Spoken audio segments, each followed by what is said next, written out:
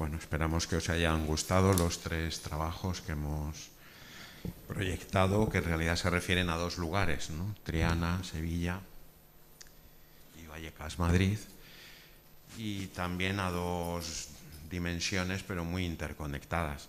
El espacio más directamente relacionado con lo vecinal y el apoyo a la exclusión social y un segundo entorno, digamos, más relacionado con la salud, eh, que incluye también especialmente la salud psicofísica, digamos. ¿no? Bueno, vamos a entonces a hablar de todo esto con nuestros dos eh, invitados, ¿no? Iciar Cabeces de una asociación que se llama Osalde. Eh, ahora, bueno, os, os presento y luego os paso el micrófono para que nos podáis contar más despacio la información. Así, en resumen, es una asociación de profesionales de la salud de distintos ámbitos ¿no? y de distintas profesiones. Eh, en concreto es psicóloga. Y luego Carlos Cangas es de una asociación que es eh, F, FQS, es, que es una asociación de enfermería eh, que se dedica o que tiene interés sobre todo en el tema del trabajo comunitario y los cuidados y demás. Bueno, pues yo creo que con esto vamos a charlar con vosotros y después pasaremos el micrófono eh, a vosotros, lo pasaremos a vosotros y entonces pues vamos dialogando. ¿eh? Bueno, contarnos en primer lugar vuestras entidades, eh, a qué se dedican, cómo hacéis vuestro trabajo, dónde estáis y demás. ¿Se me escucha bien? Sí, gracias. Saludos ¿eh? a Racha León. Eh, Osalde es una organización bastante peculiar porque eh, somos gente sanitaria, incluso en las transformaciones del tiempo tenemos incluso alguna persona que es ciudadana simplemente pero en realidad eh, se ha concentrado más en el esfuerzo por nuestro estilo, por la determinación de nuestras vidas también, en lo que ha sido el grupo eh, sanitario plural.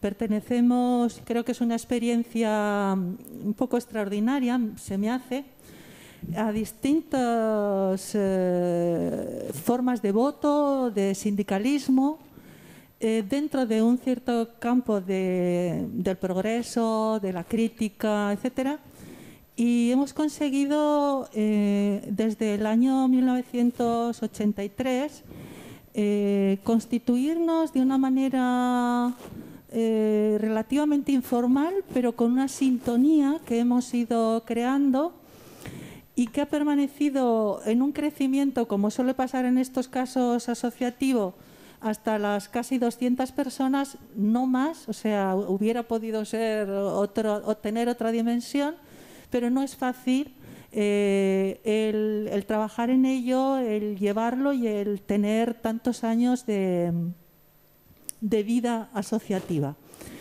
Eh, ha tenido también una característica que creo que lo ha hecho más compleja e interesante, pero a la vez también creo que es uno de los motivos por los que no siempre somos demasiado eficaces o por lo menos también que eh, no hayamos crecido dentro de lo que es la, población de la gente sanitaria de todo el sistema de salud nuestro, ¿no? de Osakidecha, del País Vasco, de lo cercano. ¿no?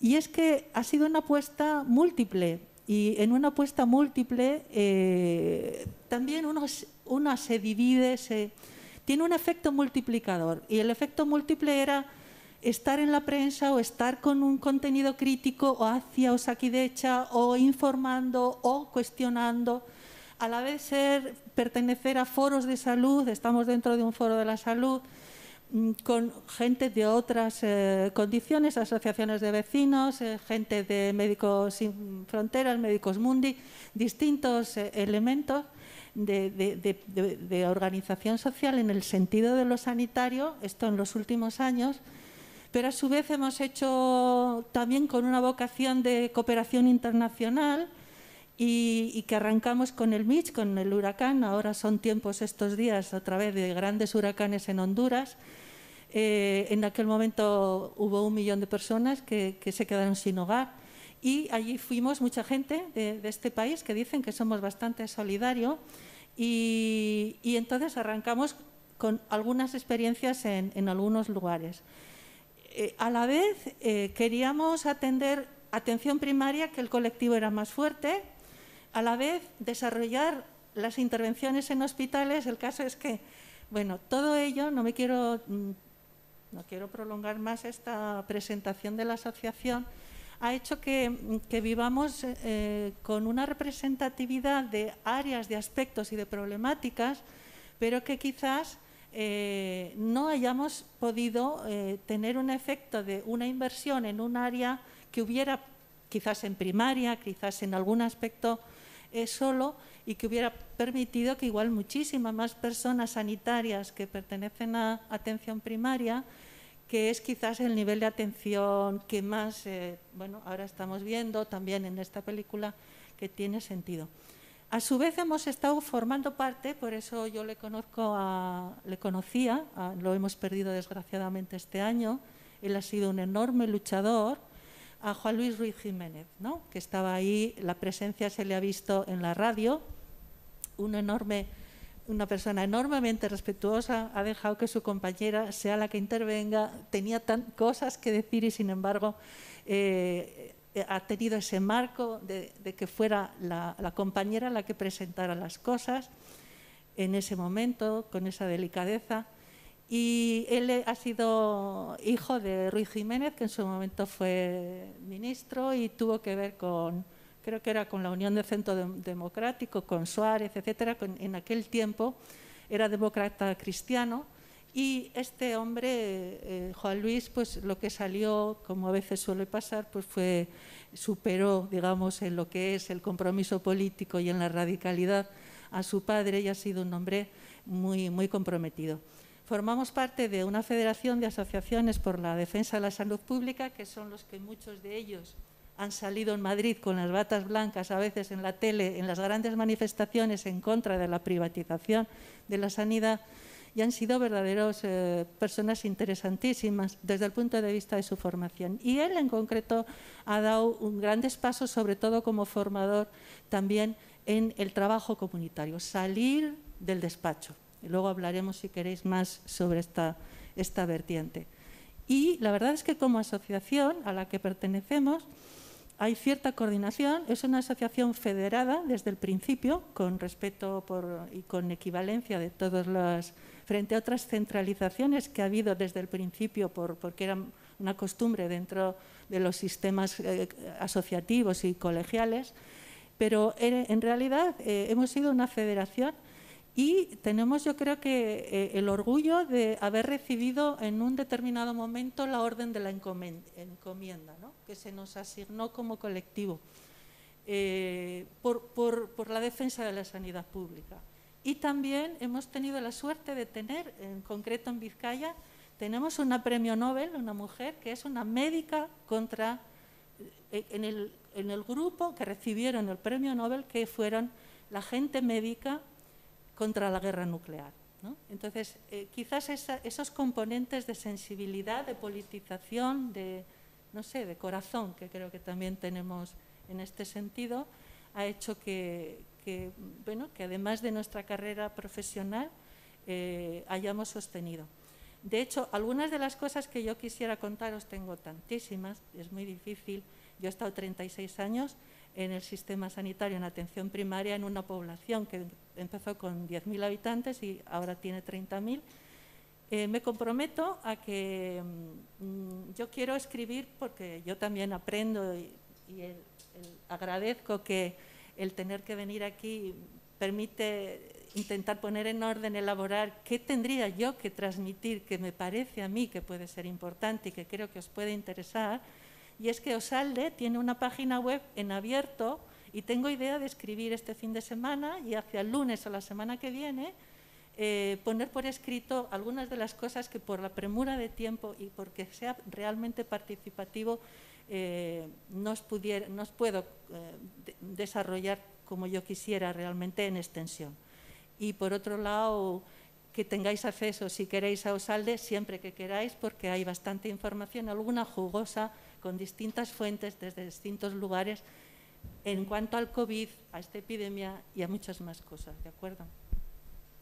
Muy bien, pues muchas gracias por toda esta presentación. Tú vienes de Bilbao, eh, esta tarde has venido desde Bilbao aquí.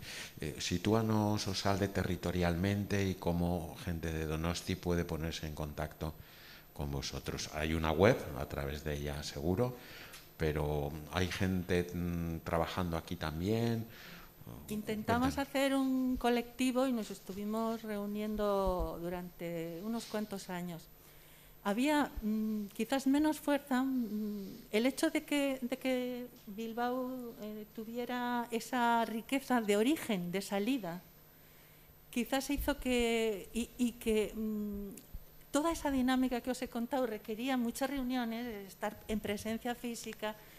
Eh, lo que hice yo creo fue eh, impedir un poco y entonces el, el, hecho de que hubiera gente como un colectivo organizado en Guipúzcoa, en concreto, eh, no se ha llevado a cabo en lo que es el desarrollo de ese grupo en Guipúzcoa. Lo mismo ha pasado en Álava. Sin embargo, como miembros individuales están en el conjunto de la asociación. O sea que nuestro marco en realidad son los tres territorios, ¿no? Y, y, hay personas de los tres sanitarias que pertenecen. Hubo una tentativa, resultaba muy difícil. O sea, con el ritmo de, que exigía, digamos, reuniones, etcétera, eh, era muy difícil. Y al final, bueno, también hemos tenido una gran, un gran cambio y una gran mejora en, la propia Osakidecha, eh, en muchos de, los programas de funcionamiento y en, muchos de, los aspectos, no solo eso también ha tenido que ver, la propia sociedad eh, la, hemos hecho entre todas las personas cambiar en un sentido más progresivo. Y la sanidad eh, casi siempre ha tenido eh, ciertas fuerzas de izquierda, por lo menos, y cierta cohesión cuando ha habido pues, pues todas las, las, políticas, digamos, de, de, distintos partidos gobernando conjuntamente. La verdad es que la sanidad se ha intentado que fuera, con muchos elementos de cuestionamiento y de déficit que quizás ahora vayan saliendo, pero desde luego un verdadero progreso. Cuando yo empecé a trabajar había un consultorio en el pueblo, cinco, tres o cuatro médicas y médicos, eh, tres de enfermería, eh, un conserje que venía de, no se sabía dónde y cuando se enfadaba va dando golpes por la puerta, decía, aquí no me contesta nadie, es que hay que esperar, no se puede. En el vídeo ha salido como alguien toca la puerta y entra. Eso es muy, muy, muy hospitalario. ¿eh? O sea, se irrumpe. La verdad es que en un centro de salud se toca la puerta y se para a que alguien salga desde dentro para no interrumpir. Esa, esa ese criterio, ese marco, la verdad es que lo hemos desarrollado un poco desde el principio, pero el pobre conserje se, ¿eh? se ponía de los nervios todo el rato cuando había alguna cosa que...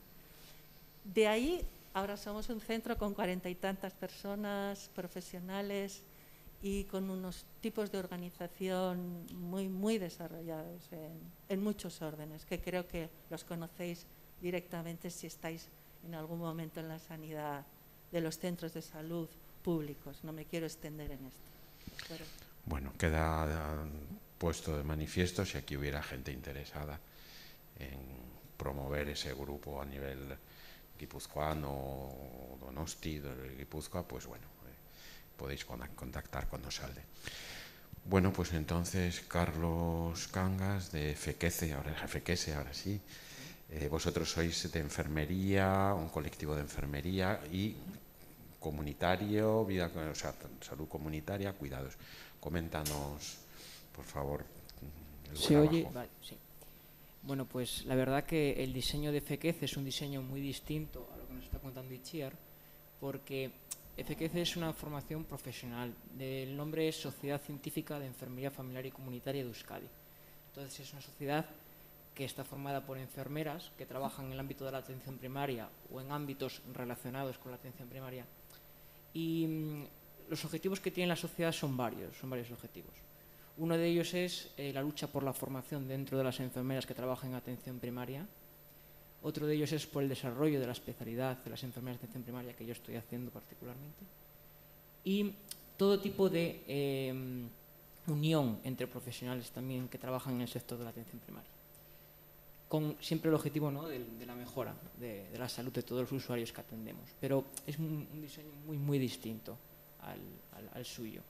Eh, somos eh, de socias unos 120 y algo y en la Junta somos seis personas. Em, y al final eso es lo que voy, a lo que me refiero que es que es algo profesional, en el sentido de eh, que no es de, usuarios, no sería de la gente de, la calle, de a pie, ¿no? sino sería, eh, para, entrar a, formar parte de esa sociedad, debe ser eh, enfermera y a poder ser que trabajes o que tengas una experiencia previa en, la atención primaria. Entonces, Estáis ubicados, como situarnos también territorialmente. La ubicación es de todo Euskadi.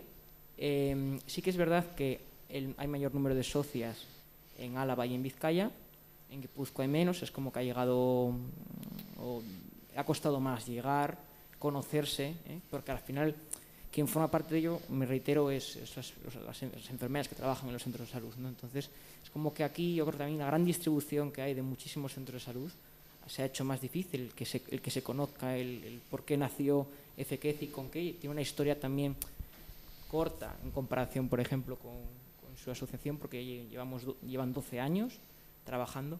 Em, y, eso, y al final hay, hay más cantidad de, socias de las otras provincias que de Guipúzcoa. Pero bueno, estamos presentes en los tres sitios y, intentamos pues cada día tener mayores iniciativas. Es verdad que también mm, esas enfermeras que trabajan, no solo trabajan en centro de salud, muchas de ellas también trabajan en gestión dentro de las direcciones de Saquidecha, trabajan en, en, ámbitos muy distintos que siempre pueden aportar diferentes visiones a, a todo lo que pues al final eh, se va organizando anualmente, porque organizamos eh, un congreso a poder ser eh, cada dos años y unas jornadas cada año también, más las asambleas para poder conocer también las realidades y las experiencias de cada una de las socias distintas y que también tengan su voz y su voto. Y mm, al final es un poco así, en resumidas cuentas, cómo funciona. Estamos manejando dos ámbitos que me gustaría que los pudiéramos como aclarar para que manejemos un poco eh, la parte también conceptual. Eh, ¿Cómo podemos, los dos términos son salud pública y salud comunitaria.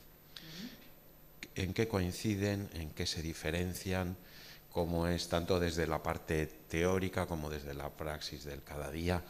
¿En qué se diferencian estos dos ámbitos?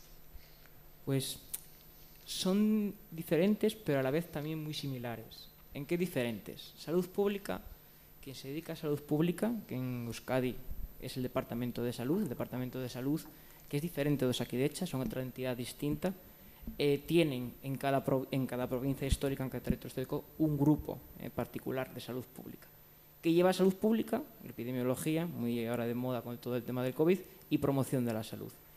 Eh, al final, todo lo que hace salud pública o promoción de la salud son hacer directrices, hacer eh, planificaciones a nivel político también mm, de leyes de salud pública y se dedica a nivel poblacional.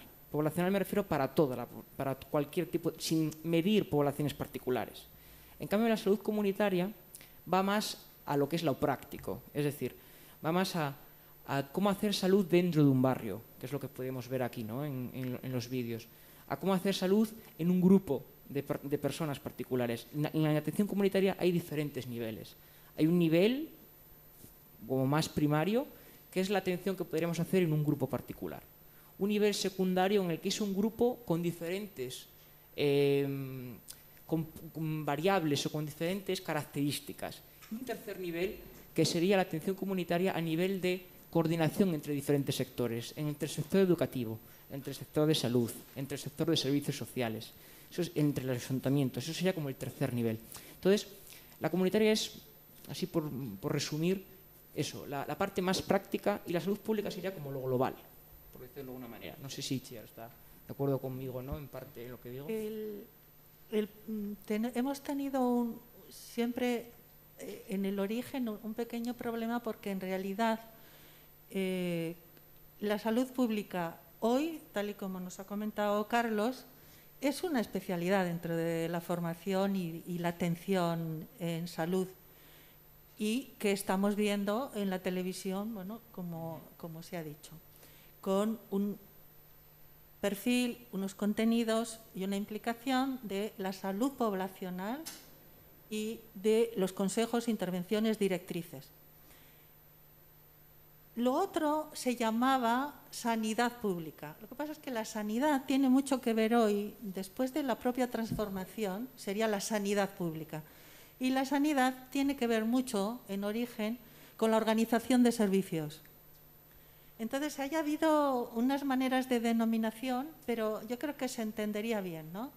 el derecho a la salud, para no equivocarnos en nada, el derecho a la salud en toda la población, gratuita ¿no? y de abordaje ¿eh? por las instituciones públicas, eso es una primera cuestión.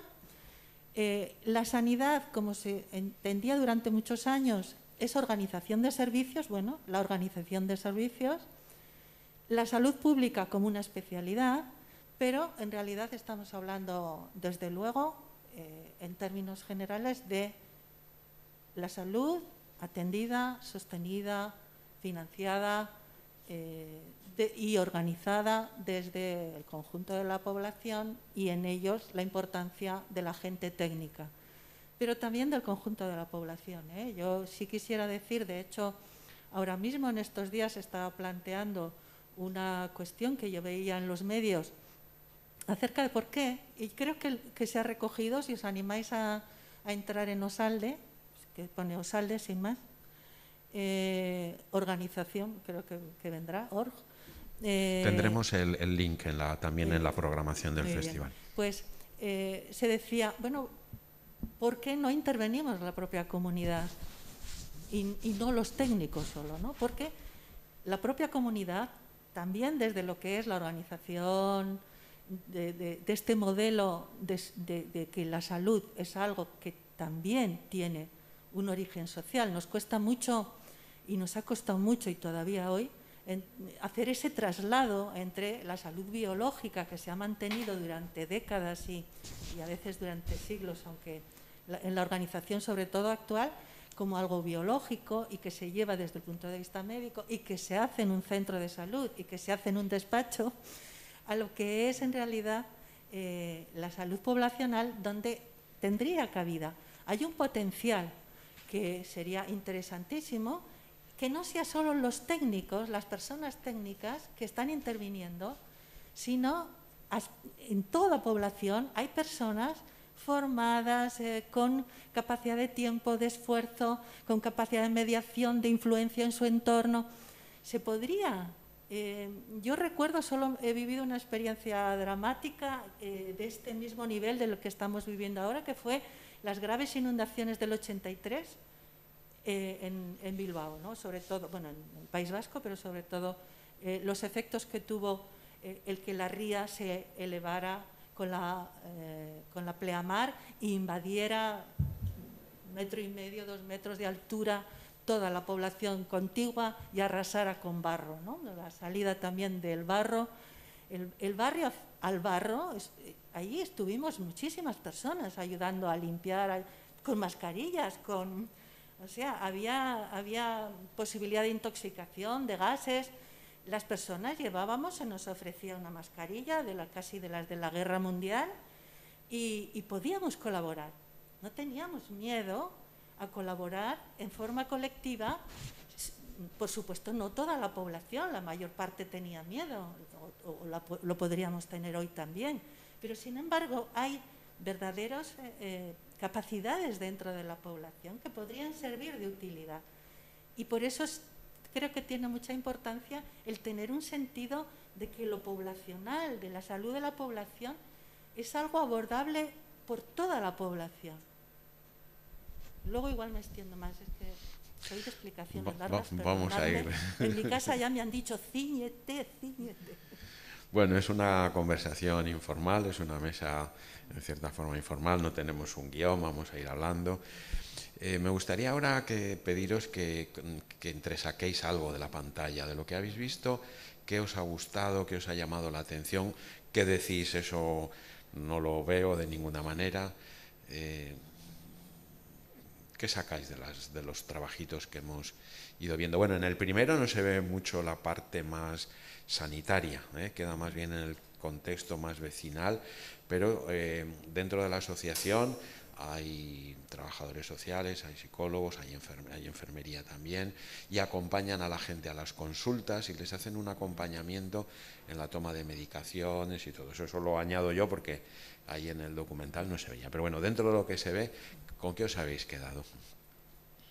Yo la verdad que de ese, de ese vídeo, de ese documental, me quedo con la parte de que desde salud comunitaria tenemos que intentar por parte de las organizaciones hacer que sean las personas que forman parte de esa comunidad las protagonistas para generar salud. Quiero decir, em, que sean esas personas las que se empoderen y ellas mismas, usted si pertenece a un sitio particular, usted si vive en otro sitio particular, que diga qué modelo de barrio quiere, qué modelo de sitio es en el que quiere vivir, que al final le va a poder generar salud a esa persona y al resto de las que, con las convive. Entonces es un poco lo que yo casi destacaría de ese vídeo, ¿no?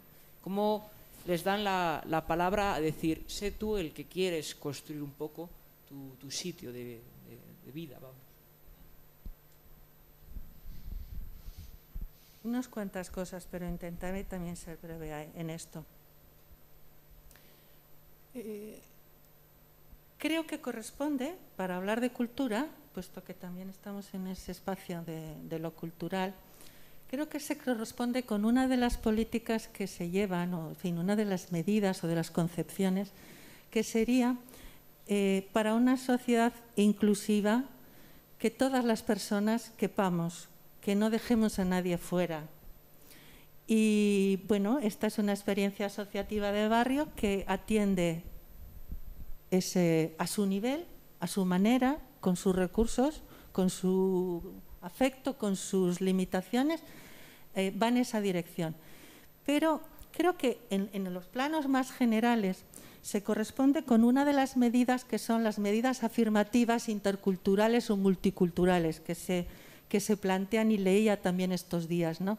Y es que es permitir que cada cultura pueda seguir siéndolo diferencial, que pueda seguir siendo diferente en la comunidad, sobre todo en las ciudades en las que estamos 60% de la población mundial y vamos a estar en 30 años el 70 o 75%. Que no es que sea el mejor modelo para vivir, si acaso eso lo podemos comentar, pero sí que es una realidad. Y como tenemos que atender la realidad, tenemos que, que tener ese punto de mira, me parece a mí, como un elemento eh, a abordar. ¿no? Entonces, en ese sentido, eh, yo creo que no se trata solo de dar oportunidades afirmativas, como por ejemplo que financiar o facilitar que salga eh, un festival chino el día del Año Nuevo Chino con sus propios cánticos, músicas, expresiones para celebrar el Año Nuevo, que es diferente del nuestro, de, de, del contexto en el que se celebra nuestra apertura cada año. ¿no? Eso sería para mí eh, un elemento que permite, la afirmación de ese grupo o de esa eh, etnia o de esa entidad cultural. Pero creo que eh, la, propia cultura tiene que tener, la, organización social tiene que tener una función que es también prescriptiva, que es una función normativa para la justicia social. Es decir, que, que hay otros elementos. Por ejemplo, de estos vídeos yo eh, mm, creo que se resiente, pero es una experiencia que es lo más común así, ¿de acuerdo? Lo que yo estoy planteando es, yo creo que es tan cuestionador que, que, es difícil de entrada, ¿no? Pero yo lo que eh, me gustaría que pensáramos colectivamente que somos la gente dueña de los servicios. Si toda la población como un símil fuéramos una comunidad de vecindad, los dueños de, ese edificio somos la gente que la habitamos. La población es la dueña de los servicios de salud, la dueña de un centro de salud, la dueña de una entidad cultural pública. somos realmente la gente dueña. Los gestores, la directora de comarca, la gestora de comarca, ¿eh? que estamos en, el mundo sanitario divididos por zonas y comarcas, es como la administradora del sistema. La gente que trabajamos somos como la, la persona que limpia el portal, el electricista, el ascensorista que nos arregla el ascensor. Pensemos, la gente que arregla el tejado, estamos, limpiamos, atendemos y nos vamos. Desde ese punto de vista, incluso en el marco legal, García Enterría, que ha sido uno de los llamados padres de todo lo que ha sido la conformación legal eh, de, de los últimos años, él planteaba que es que eso es lo, o sea, para que de verdad algo sea público, de interés público, de tenemos que ser los dueños y participar como dueños, con opiniones, con decisiones, etcétera. Y tenemos, para resumir en este tiempo, que aprender a participar. ¿De acuerdo? Desde la escuela hasta cualquiera de los grupos, etcétera, etcétera. Porque ya habéis visto un modelo de participación. Grupo puede ser conflicto. Grupo puede ser tensiones diferentes, malentendidos. Eh, cuando se han puesto a hacer la, las manualidades. O... Bien. También, ¿para qué hacemos esto? Creo que nadie ha respondido para, qué lo están haciendo. Lo están haciendo porque están haciendo una película y han querido sacar actividades grupales que pueda hacer enfermería, con la población, etcétera. Bien. ¿Qué otro elemento de la película me ha parecido?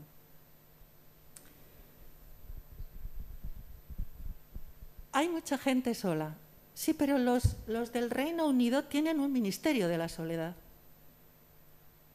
Nos resulta chocante, ¿verdad? Sí, pero sí, da la casualidad de que en los determinantes de salud, ya estamos en los determinantes de salud, ¿eh? salud pública, los centros, ya empezamos a tener determinantes sociales que influyen en la salud. ¿Por qué? Porque el 50% de las condiciones de vida inciden directamente en la salud estamos viendo ahora uno de ellos, hay muchos otros, la salud laboral, etcétera, etcétera, los medios, el género, la clase, etcétera, ¿vale?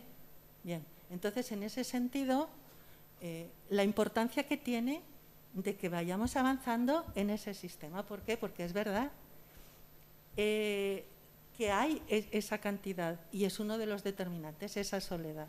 De hecho, ¿qué se repara? ¿Cómo se repara? En algunas investigaciones dicen demos, o sea, las personas que tienen un rol de utilidad, con sentido, con sentido personal, mejoran enormemente la salud. En eso hay investigación. ¿vale? Y por otro lado, si somos los dueños, bien, podemos ir creando servicios al hilo de cómo responder a las necesidades, porque si no, una de las cosas que está pasando en este momento en toda la comunidad, aquí también, es que una de cada diez personas está tomando tranquilizantes, psicofármacos para vivir en este momento en el País Vasco, en nuestra tierra. ¿De acuerdo? Y la, incidencia de la soledad en las personas de 60 en adelante, de 85 en adelante, podemos igual hablar después de eso, pero en realidad puede ser importante. Pero ¿qué es lo que han hecho el Reino Unido, que ha tenido una fuerza, ahora la ha perdido con el capitalismo general, está perdiendo todo eso, pero que ha, tenido una salud, una sanidad pública, una salud pública colectiva muy potente. Y una de las cosas que han hecho es generar verdaderas eh, intervenciones para intentar resolver ese tipo de cuestiones. Otra de las cosas es se sale a las asociaciones, sí, pero las asociaciones pueden entrar.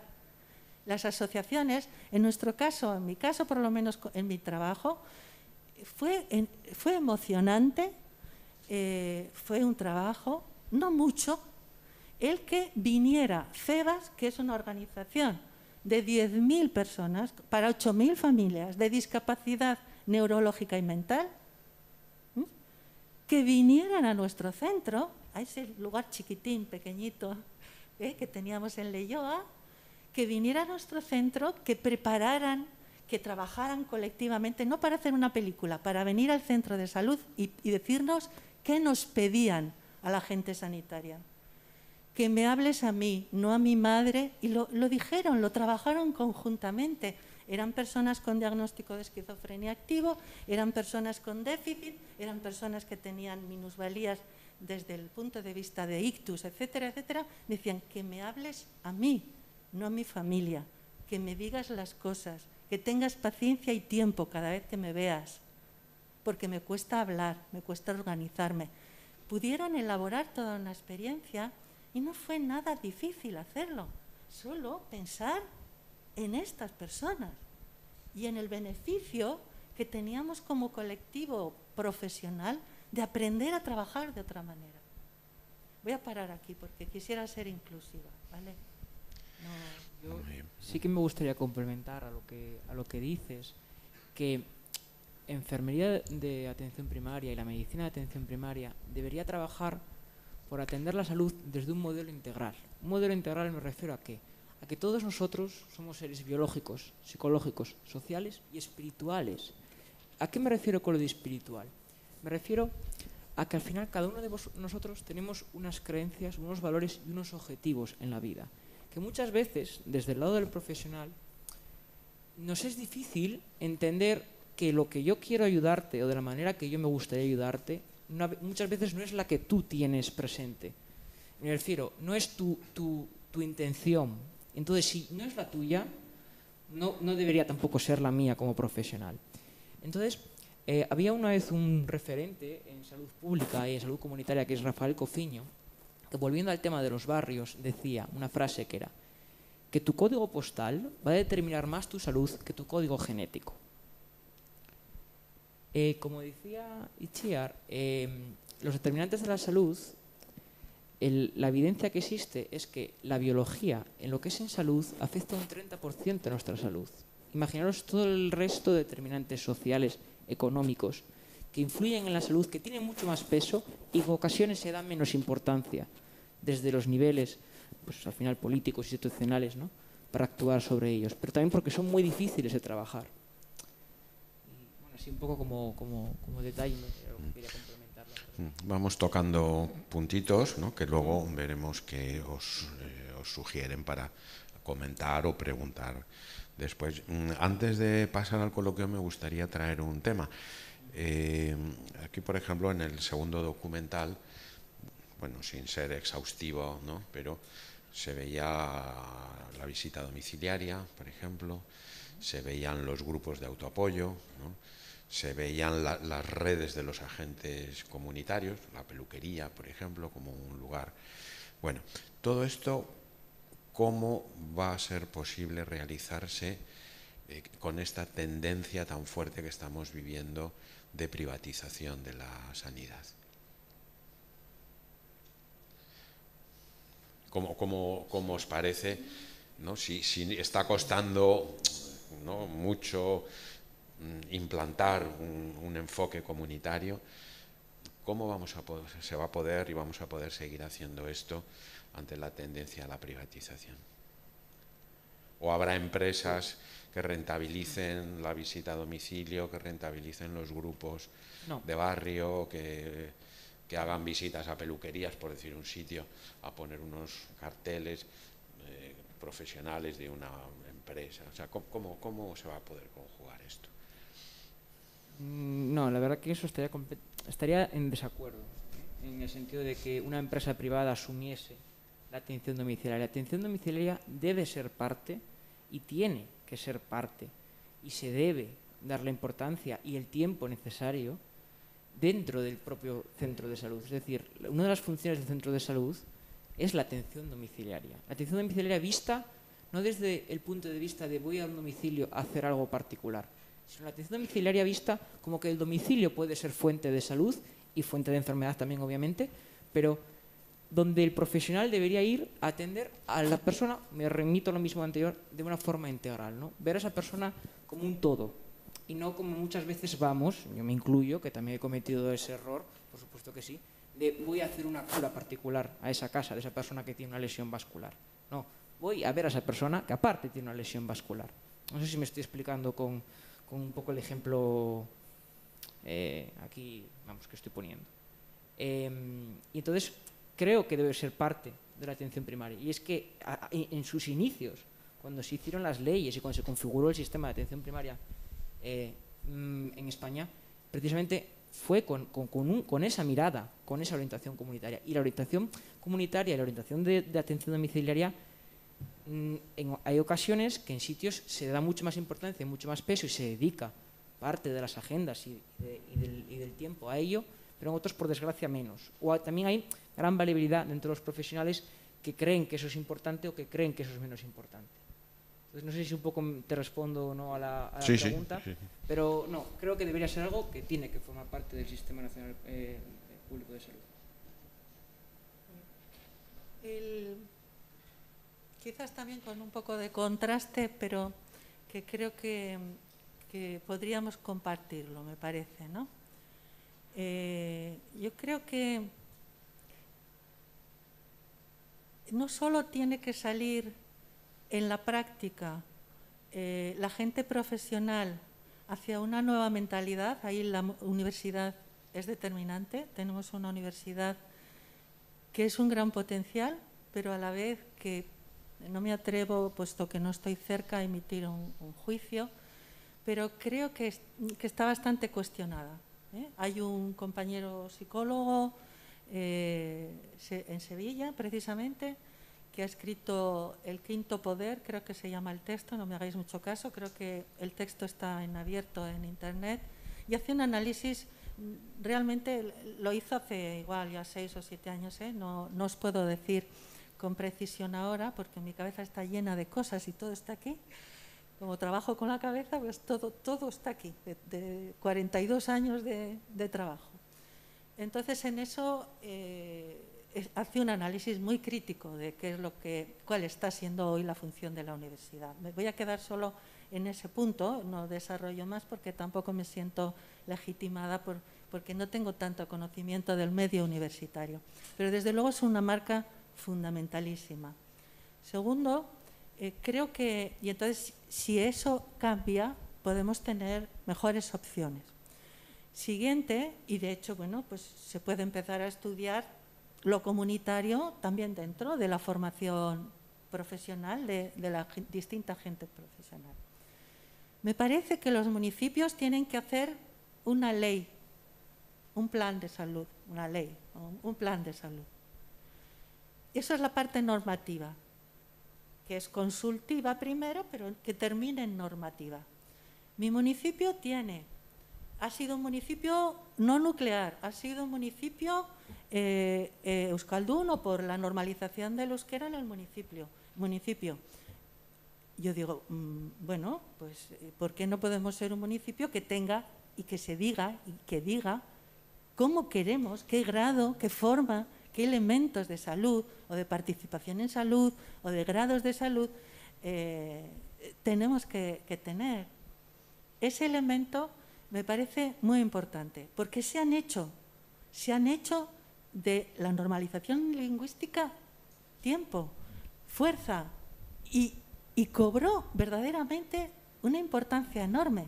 Tanta importancia que os cuento una anécdota mm, desgraciada, pero para reflexionar, que dadas las situaciones de violencia de género que yo encontraba en mi trabajo, que creo que son las cosas que, esa es la parte que nos corresponde a la gente sanitaria, preguntarnos y tratar de dar respuestas y juntarnos con otros sectores de servicios sociales, de la población, de educación, etcétera, y tratar de pensar en común qué estamos viendo, qué está pasando y dar respuestas. No solo vivir con preocupación, sino tratar de investigar. La investigación no se puede hacer en, en no sé qué centro, en la universidad, en el laboratorio.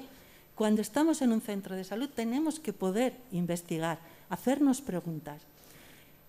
Cuando hago una investigación 2000 a 2003 de qué es lo que estaba pasando sobre violencia contra las mujeres, que yo veía en mi consulta, que además descubro que de 656 casos, personas que había atendido, 100, no sé si eran 20 y algo, 24, eh, habían tenido, eran mujeres, había algún varón también que había sufrido violencia a consecuencia de defender a su hija violentada por, por ¿eh? por, el compañero o el novio que ella tenía. ¿no? Lo agredió, etcétera, al padre de la chica. Bien, ahí había una serie de casos, sobre todo de tipo, eran mujeres que tenían que ver con violencia, algunos muy graves, las más jóvenes eran las que tenían más gravedad en, los riesgos de muerte que tuvieron. De hecho, tuvimos una, mujer muerta, lo que pasa es que no cuenta en Leyoa como, como una mujer muerta en Leyoa, porque en ese momento estaba viviendo fuera de Leyoa, pero fue muerta y pertenecía a nuestra comunidad. Voy con toda esa experiencia de análisis, de pararme por las tardes, de quedarme a revisar, a intentar identificar. Hago un trabajo de 25 folios, de menos no me salen nunca 25 folios para trabajar esa situación y trasladar qué pasa, por qué pasa, por qué surge, quién, cómo, es el alcohol, no es el alcohol, qué es lo que pasa. Lo presento a través de servicios sociales, llega al ayuntamiento y en ese mismo año hay unas jornadas. Me presentan a la nueva concejala, era joven, la verdad es que la juventud también es inexperiencia, tendría que tener todavía un recorrido. Quiero, por comprensiva, no quiero ser injusta, pero cuando me presenta, me dicen, eh, esta es Ichia, la psicóloga del centro de salud. Entonces le digo, ah, y, ella era la una concejala. Le digo, ah, eres la concejala de aquí, de Leyoa, de Lejona, le dije, porque entonces le llamábamos Lejona por transcripción histórica. Y entonces me dice, Leyoa. Ella me corrige, lo de la normalización lingüística lo tenía clarísimo. No me dijo ni una sola palabra, nadie me dijo nada dentro del ayuntamiento, de la comisión de mujeres, de la, que habían recibido o la importancia o no, o si querían asesorarse o por lo menos darme las gracias por el trabajo que yo había hecho. No por mí, por, las 112 mujeres que habían sufrido. Pero la normalización lingüística la tenía clara. Entonces creo que en ese momento es muy importante que podamos estar en los lugares de decisión y de participación, que nos abran la puerta el centro de salud, el centro de salud también, ¿eh? con la comunicación, con eh, las formas de hablar y de comunicar, con sentirse la persona integrada. Pensad que, termino aquí para, ¿eh? pensad que la forma habitual que tenemos que trascender está estudiado, el perfil es que una empieza a hablar en el centro de salud, y más o menos entre los 5 segundos y los 18 eh, es interrumpida. Que el tiempo de dedicación, a los 3 minutos en los estudios ya se ha hecho un diagnóstico sobre algunas de las bases que hemos hablado, que tienen sentido, por lo de la navaja de Ockham, ¿no? ese aspecto, digamos, de la metodología que, recordando a Ockham en el siglo XVI, se planteaba que lo más habitual será la verdad, que será bueno, lo más probable.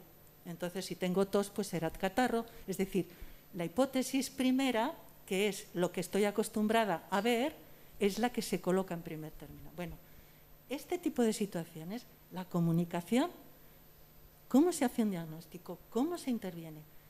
tener o no tener la palabra, sentirse, ¿qué es la inclusión desde el punto de vista de la cultura? Termino aquí ahora esto, es sentirse con tranquilidad y con inclusión en el, sistema donde estés. Y el sistema sanitario es nuestro. Si fuéramos capaces de hacer esa transformación, la colectividad nos prefiere al servicio de salud público. Cuando somos amables, cuando somos eh, gente experta, cuando damos opciones, cuando vamos a los domicilios, cuando hacemos. Si el propio municipio hace un plan de salud, siempre competiremos en mejores condiciones. Bueno, se eleva, se eleva el grado de conocimiento y responsabilidad de la población en proteger su sistema de salud, ya se ha visto qué es lo que ha pasado en las colectividades público-privado, y entonces podríamos estar en mejores condiciones para luchar contra esa vía férrea terrible de privatización de todo. En una Europa terriblemente condicionada por el mercado, el mercado mundial, etc. En Europa hemos estado pagando millones para que no entrara la carne de Estados Unidos por la cantidad de metabolizantes y de, elementos no buenos para la salud que en Europa decidíamos que no. Pero en el mercado hemos tenido que hacer ese, peaje estamos en, esa encrucijada. Entonces, podríamos tener ventajas contra eh, e, ese movimiento de, privatización. Esto nos llevaría a otra pregunta, pero solamente la voy a lanzar sin respuesta en principio para poder dejar al público ¿no? que, que seguramente después de habernos oído ya tanto tiene, se le han ocurrido cosas, tiene alguna pregunta, pero sí me gustaría cerrar esto con la reflexión de eh, casi este eslogan, ¿no? de devolver la política a la comunidad ¿no? y recurrir a sistemas consultivos, sistemas de sondeos participativos que mencionábamos antes, democracia directa y este tipo, pero a nivel práctico y local en nuestras necesidades más básicas como la salud lo dejo así, sin más, como una reflexión. Y bueno, pues creo que es momento para que podamos hacer algún comentario, alguna pregunta. Entonces, eh, vamos a tener, veo que viene Ollana con un micrófono. No os vamos a pasar los micrófonos por el tema de, la, epidemia. Entonces, eh, bueno, pues eh, habláis ahí y ya está. Tenía algunos datos sobre las primeras películas los sin techos en Donostia y otros datos sobre la salud. Entonces, para no liar el tema, hablaré solo sobre la salud. Eh, me ha gustado mucho la idea de eh, que la población sea dueño de los servicios. Eh, como cada ciudadano es paciente, supongo que los pacientes también tendríamos que ser dueños o alguna influencia en Osakidetza. Y tengo la impresión de que vuestra visión es un poco eh, demasiado optimista. Algunos datos. Hay miles de pacientes, bueno, aparte del tema de COVID y de la atención telefónica, que puede ser por COVID, yo hablo otros cambios que está promoviendo la gerencia de Osakidetza. Primero, que desde febrero a octubre ha habido miles de pacientes, no tengo la cifra porque no me la dan, eh, incluso con cáncer, con inmunodepresión, etcétera, que no han tenido médico, que han sido atendidos por médicos rotatorios fuera de su horario.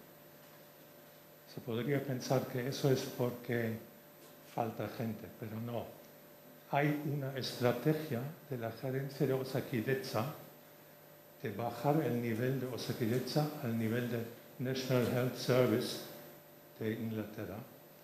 Por ejemplo, hay citas telefónicas para septiembre del año que viene. No es para el COVID, sino es que van reduciendo la cita presencial, que son 10 minutos, por la cita telefónica, que son 3 minutos. Y para terminar, eh, como paciente me alegra muchísimo y participo cuando os juntáis por fin todos los sindicatos de Osakidecha, sea del color político que tengan. Pero vosotros vais a fracasar igual que hemos fracasado el año pasado con todas las manis y todas las, eh, eh, todas las concentraciones del laboratorio vais a fracasar mientras que no haya aquí un movimiento de pacientes.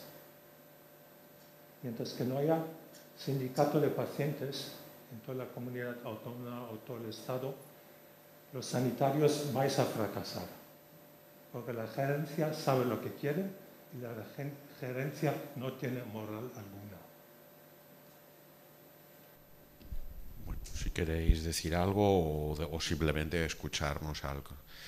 Ah, Podríamos escuchar más, más voces. Bien, y, bien, Y, después que haya respuesta, sí, para que no se quede sin respuesta.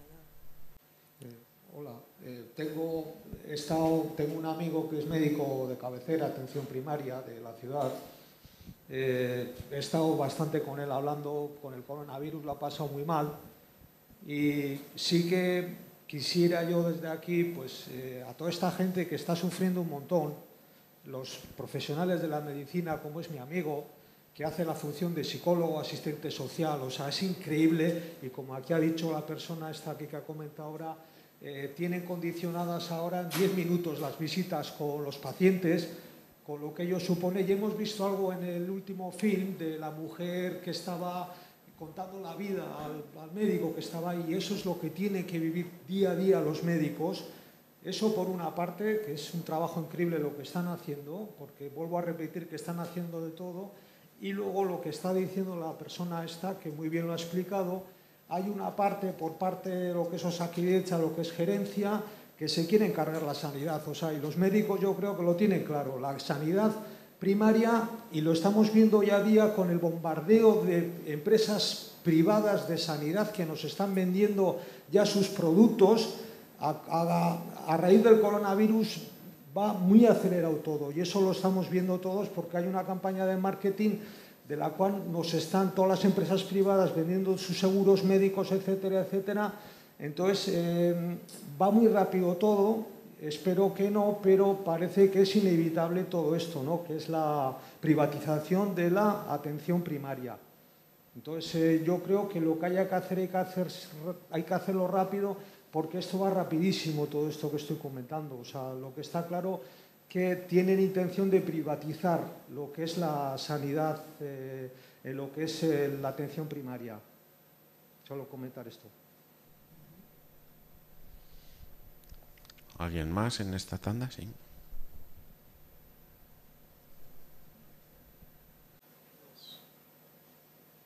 Dos cosas. Una, que evidentemente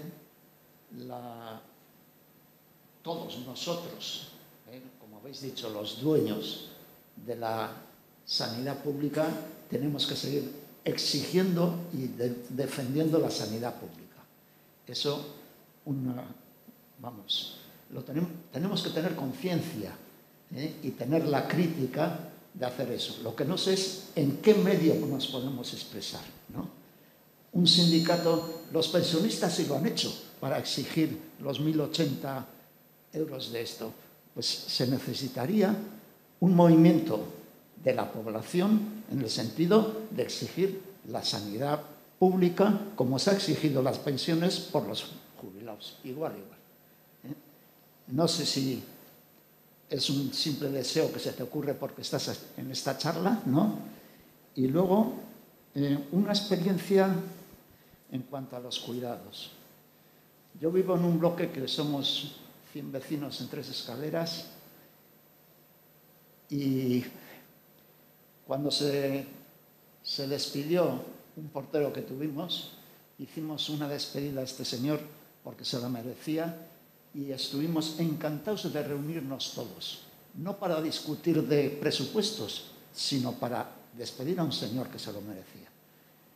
Y luego, sin embargo, resulta que no nos encontramos. O sea, el ascensor es el enemigo de la comunidad, porque yo solo me veo con el que coincide en medio horario, no, no me veo con todos. Entonces, los cuidados, entiendo que, en primer lugar, empiezan por los vecinos.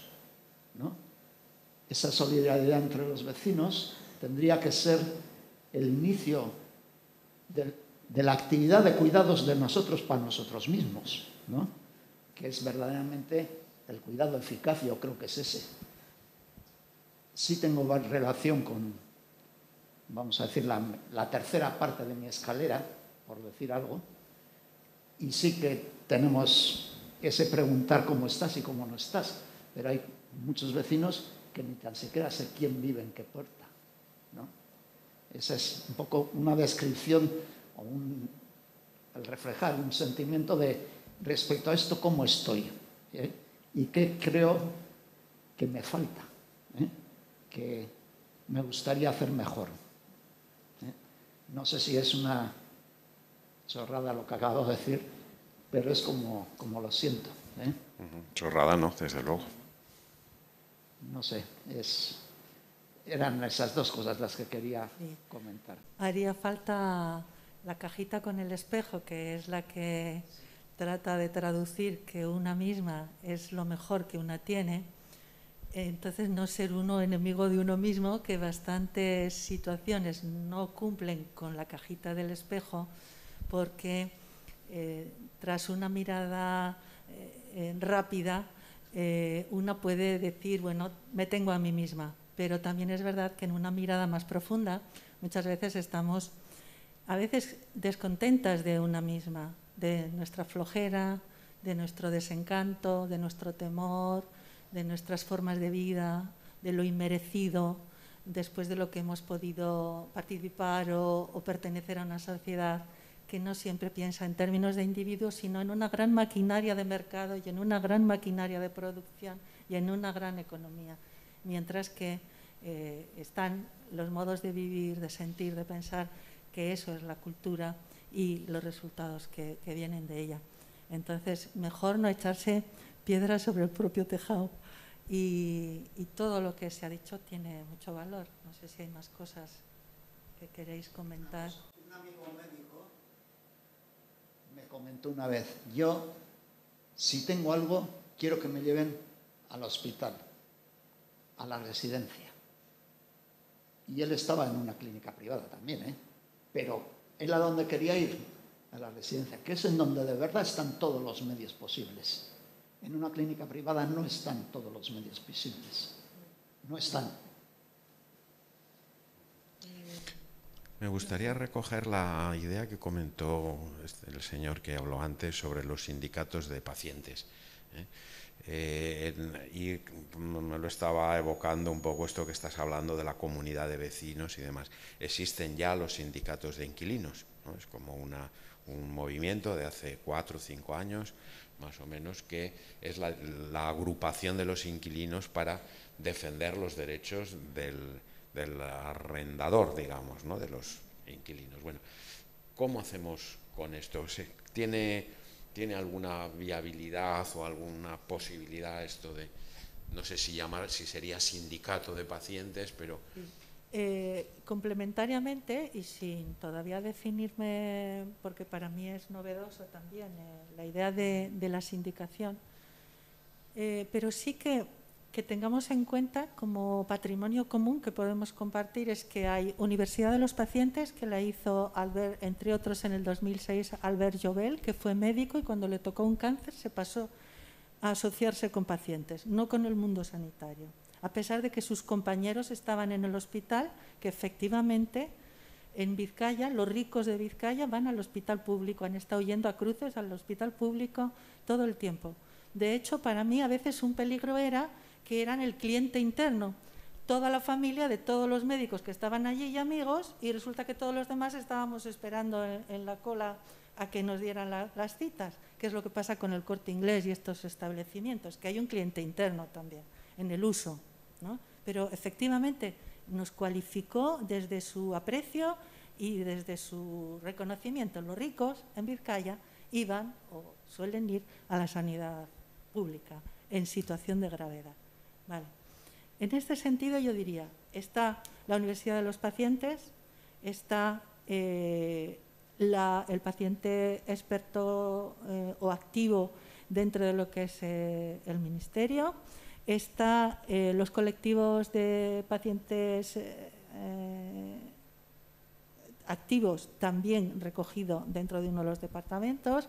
Está la red POP, que son pacientes de, organizaciones de pacientes, plataforma de organizaciones de pacientes. Eh, está el foro de pacientes, está el Forum Clinic, que lo lleva el Hospital Clínico de Barcelona y que financia el BBVA, que ya sabéis que entra en proyectos sociales y en escuelas y en formación, etcétera, como una estrategia de las nuevas formas bancarias, pero lo cierto es que lo financia. Es decir, tenemos algunos de los, de los elementos que permiten. Y toda una reivindicación, la plataforma reivindica, por ejemplo, que en todas las decisiones de salud, etcétera, resulta que hay organizaciones empresariales, en, algunos momentos, anualmente, hay una presencia reconocida por ley de organizaciones empresariales, de organizaciones sociales, pero no estamos como organizaciones de pacientes. Entonces, eso sería muy importante, lo que antes os decía, los aspectos normativos que prescriben o llevan lo que a, lo mejor en años, como, como estabais planteando también, nos está costando hacer un movimiento, mientras que en años podemos tener avances importantes. La llegada, por ejemplo, de Santiago Esnaola, que es un compañero que pertenece a Osalde, que es uno de los responsables de salud pública en Vitoria, en, el Departamento de Sanidad, ha hecho que los determinantes sociales estén en primera plana y por lo menos estén dentro del el campo de entendimiento y abordaje de la sanidad. A veces los individuos, frente a los aspectos más depresivos de no vamos a conseguir nada, bien. Otro elemento, o sea, las personas que estamos o están en elementos de dirección, etcétera, pueden tener a veces un papel importante. Por otro lado, estamos en un momento muy delicado con, las privatizaciones, pero también tenemos oportunidades de poder eh, escribir. Eh, de repente vemos que, hay un médico Padilla, por ejemplo, se ha hecho famoso, está en las redes, irá subiendo y tiene un poder de transmisión. Eh, hay elementos que están en circulación que a veces aceleran enormemente procesos que, parece, que parecían tan difíciles de llevar y nos plantean eh, aspectos que antes era imposible de, pensar desde el punto de vista de que eso estuviera integrado en la sanidad con total normalidad, con presupuestos y con atención. ¿De acuerdo? O sea que hay elementos que tenemos que considerar que eh, el hecho de que estén o formen parte, estén a veces producen aceleraciones muy fuertes de los, de los procesos, que no siempre en lo colectivo. Pero otro elemento también, en mi criterio por lo menos, es, en el 2012, cuando se ha hecho una investigación en este sentido, se planteaba que el 20% de la población había estado en oposición a través de grupos pequeños y de boicots personales. Podemos hacer boicots personales podemos tener una fuerza. El 20% de la población son dos millones o no sé cuántos de, personas. Eh, hay un 30% cuando se plantea en la gente de 50 eh, en adelante. Hay un 10% que hace voluntariado, pero hay un 30% que quisiera hacer voluntariado y, no, acaba de, nadie le acaba de movilizar. Quizás estas estos pequeños granos de arena pueden permitir que vayamos, ¿no? a veces en estas eh, situaciones de cine, de un festival de cine, que, seamos más, más mestizas las personas, que nos mezclemos fuera, no los sanitarios con los sanitarios, los, vecinos con los vecinos, igual tenemos que salir a otros espacios. Mm, me parece que esos elementos pueden tener una fuerza que creo que es importante el poderla... Eh, yo de verdad pienso que, voy a ser yayo flauta, casi seguro, porque con todo lo que he vivido en la sanidad pública, con todo el, alma que yo tengo de, sensibilidad y de y todo lo que he visto y todo lo que he vivido y todo lo que conozco, pienso, bueno, pues, pues tendremos que, que explotar. Quizás es frente a la juventud, que es la del 68, la de, que hace las revoluciones en otros países, resulta que igual tenemos que ser la gente desocupada, no solo la gente jubilada, la gente desocupada, que hay mucha de determinados estilos, las amas de casa, la gente que no trabaja fuera de casa, la gente que trabaja pero está, la gente discapacitada, la gente enferma, en un periodo corto. Eh, o sea, hay capacidades. ¿Qué es lo que sucede? Esas capacidades, para mí sí que es un problema, ¿eh? que no se recogen en el centro de salud, por ejemplo, que se podría, porque podemos conocer las situaciones familiares de muchas personas. ¿Qué hacen en mi pueblo de trabajo? Lo recoge la iglesia, no mucho, pero la iglesia, pero no los servicios sociales. El voluntariado, cuando el ministerio abrió una vía de, voluntariado, no sé si en el 17, y se apuntaron 1.300 personas, uno de los departamentos del ministerio, de uno de los ministerios. ¿Qué es lo que pasa con este voluntariado? Que puede ser una gran fuente de conocimiento, de formas, de atención, de solidaridad, etcétera. ¿Qué es lo que pasa con eso? Porque ese es un potencial que al hilo de la sociedad está fuera. La gente discapacitada, de baja, convaleciente, eh, las amas de casa, eh, Las amas de casa en mi pueblo, que le llamo mi pueblo porque pasan más horas allí en mi vida que en ningún otro sitio del mundo, eh, se han visto que agarraban la degustación, fue la primera salida. Primero compras, luego la degustación, después el chándal. Pero al municipio no les ha propuesto nadie. Solo cuando la asociación tuvo mil, de mujeres tuvo 1.200 mujeres o, mil y pico, le propusieron a, la presidenta que fuera, ¿por qué no se iba de concejala independiente? Hay una fuerza. Lo que pasa es que no estamos acostumbradas las personas a utilizar esa fuerza, pero la fuerza la tenemos. Las mujeres, sin pegar ningún tiro, aún en la defensa de nuestra capacidad como etnia, junto con las miles de etnias en el mundo, a tener su expresión, su capacidad de decisión, su identidad, su lengua, el valor de una lengua que se está perdiendo, que en 40 años ya nos decían hace tiempo que se perdía, y nuestras costumbres, nuestras formas de estar, lo cierto es que las mujeres, sin pegar ni un solo tiro, hemos cambiado la legislación, el, trabajo fuera de casa, ¿Esto es un momento regresivo? Lo va a ser.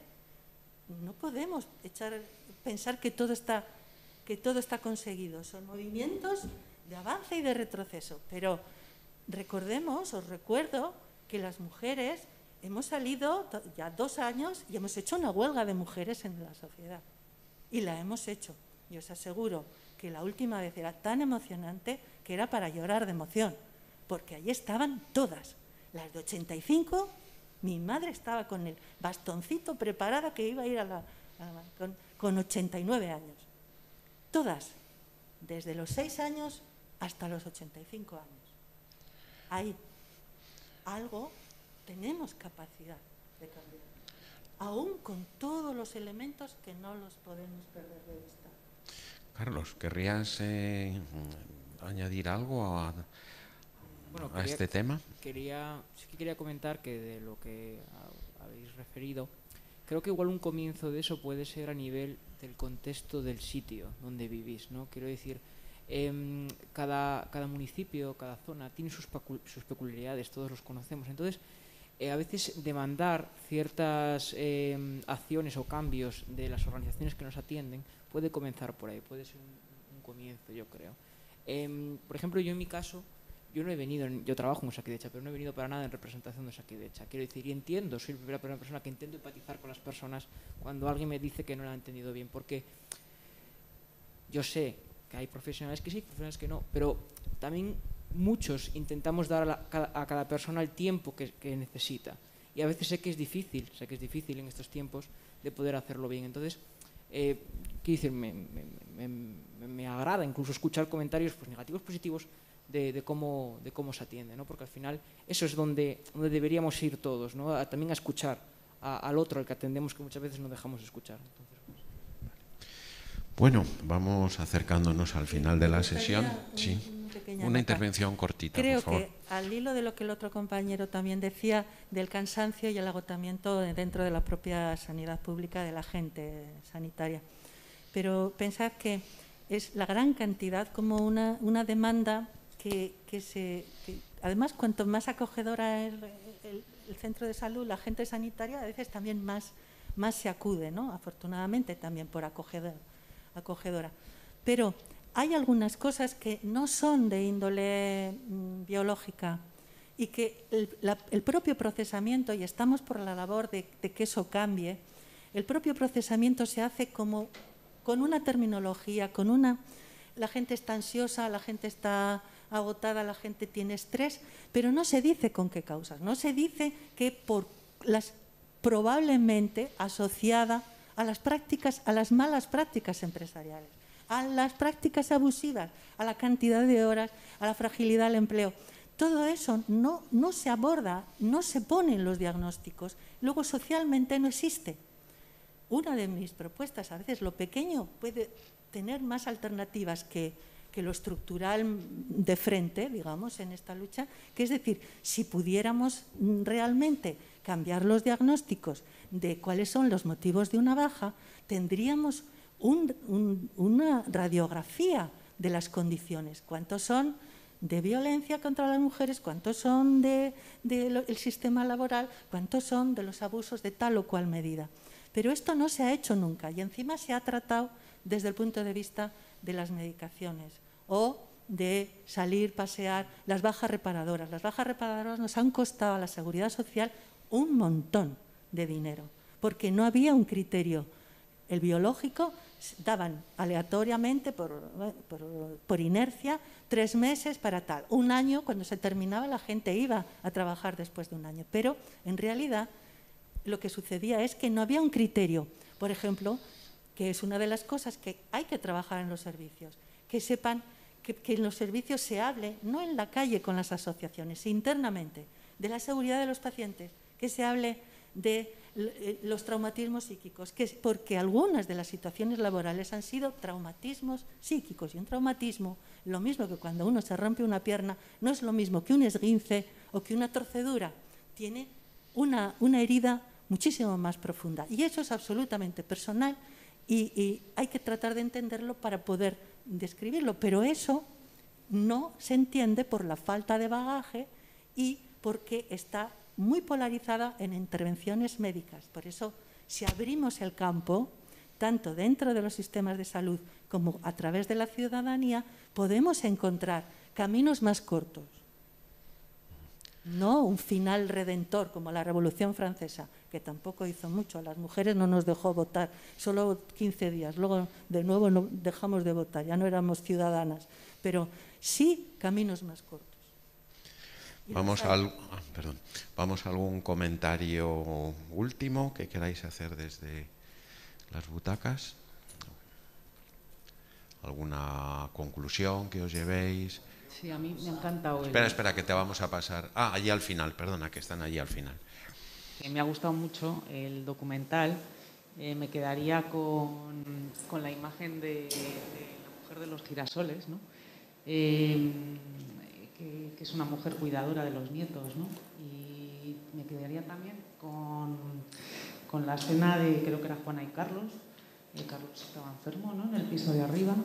Eh, y, Juana estaba muy cansada de cuidar también a su marido, ¿no? Y ahí yo echaba falta también donde estaba quizás la trabajadora social de base, ¿no? Eh, y los servicios de proximidad, quizás. Y, aquí quería yo meter como otro de, la dificultad que tenemos en la coordinación sociosanitaria. ¿no? Eso es una realidad. Ayuntamientos, Diputación, Gobierno Vasco en este caso, ¿no? que se ha visto muy, muy claramente ahora con la crisis del COVID. Eh, documental me ha gustado muchísimo también cómo estos profesionales de la salud pueden ver personas más allá de ver patologías, ¿no? Creo que también eso es muy importante. Y desde ahí poder empoderar a la ciudadanía. Eh, me ha gustado también mucho este comentario que decían de si la infravivienda tenía algo que ver con la salud, con lo cual y, lo que has dicho tú, ¿no? de, lo del código, de lo del código postal, que eso también tiene mucho que ver con el envejecimiento. ¿no? Y mm, también creo que las políticas de urbanismo tendrían que tener esa mirada de salud, ¿no? de una salud global. Eh, y luego una cosa que también me llevo es cómo fue el barrio de Vallecas quien, es como si esto hay que construirlo desde la base, ¿no? Es, difícil construirlo también como, como, desde arriba, como desde el sistema, aunque también hay que cambiar el sistema para que la base pueda cambiar, ¿no? Así que, bueno, gracias.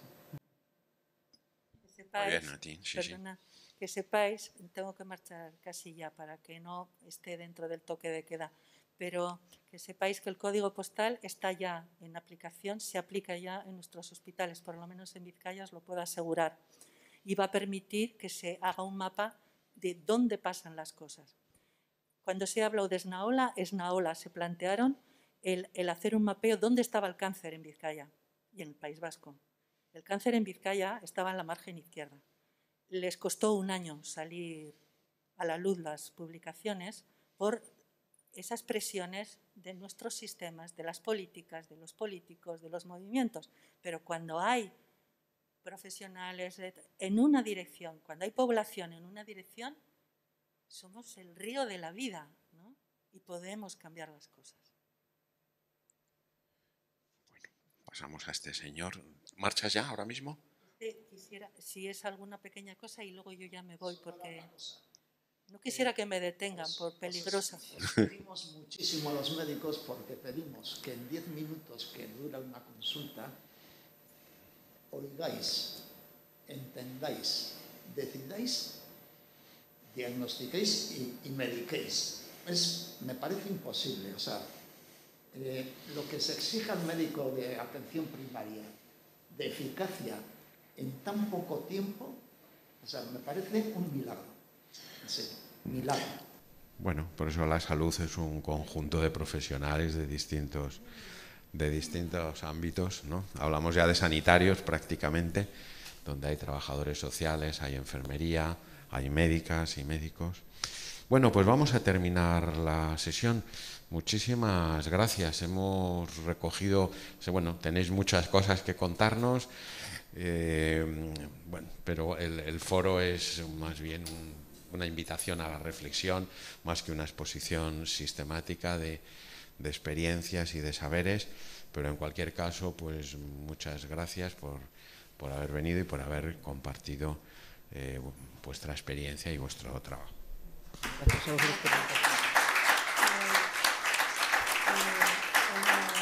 Vida mía un poco corriendo, agradeceros por supuesto y recordaros que, las, que son las cosas de la vida.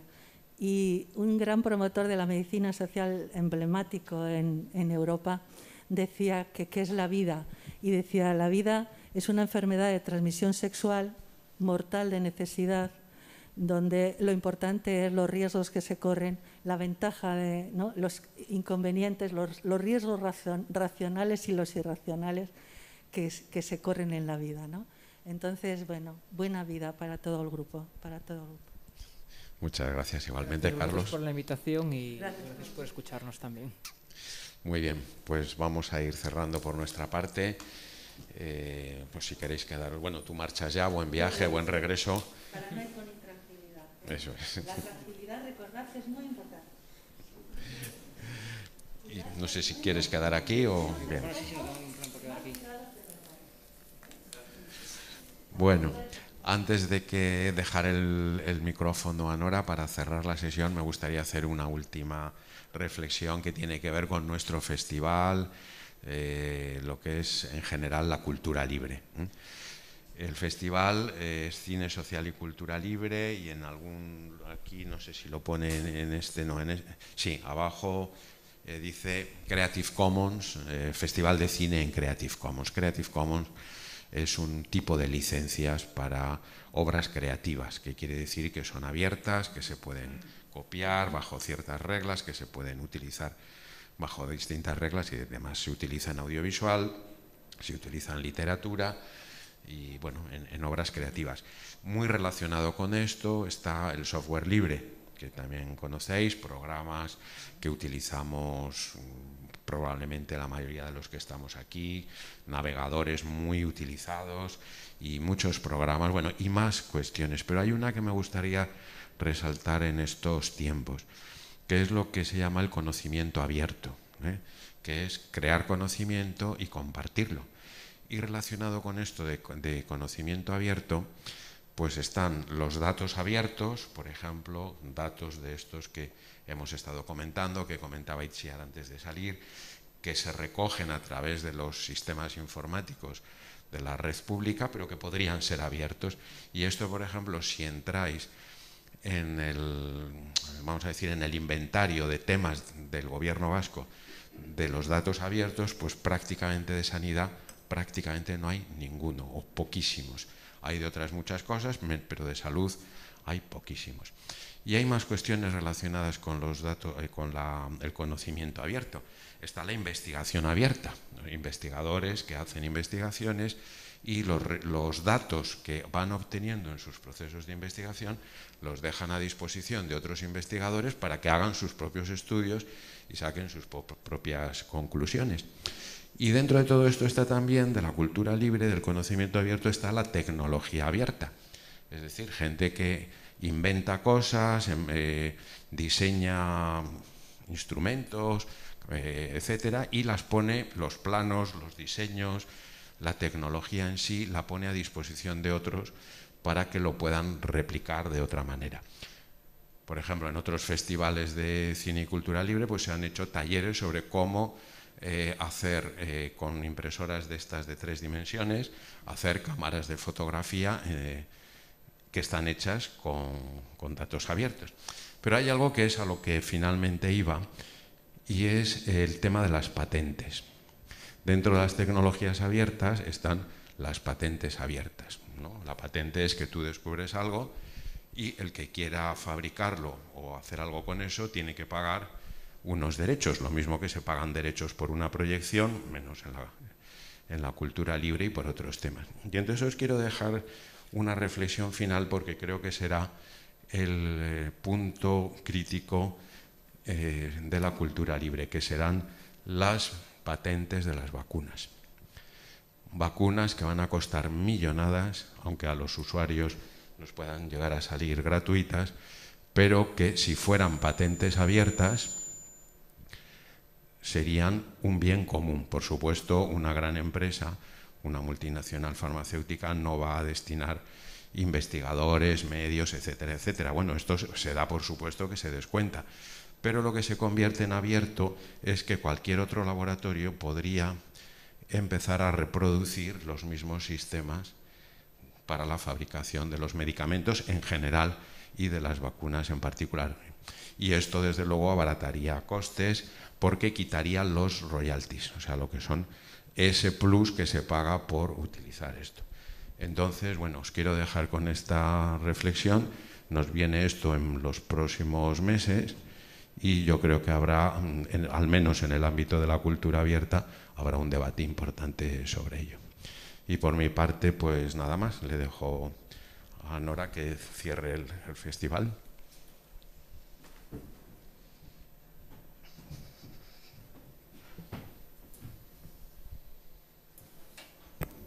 Eh, bueno, espero de, te tu izana. E, berriz ere eskerrik asko etortzeagatik, baita ere eskerrik asko e, ba, Koldo Michelena, kulturuneari eta hemengo teknikariei, tal, talangiei ere bai. Eta, bueno, ba, besterik gabe, urrengo urter arte. Eh, simplemente nada, agradeceros una vez más el, haber compartido esta tarde aquí con nosotros y nosotras y también al Coldo Michelena, a los trabajadores, técnicos, bueno, y a todos, aquí a los del coloquio también. Y nada, nos vemos el año que viene.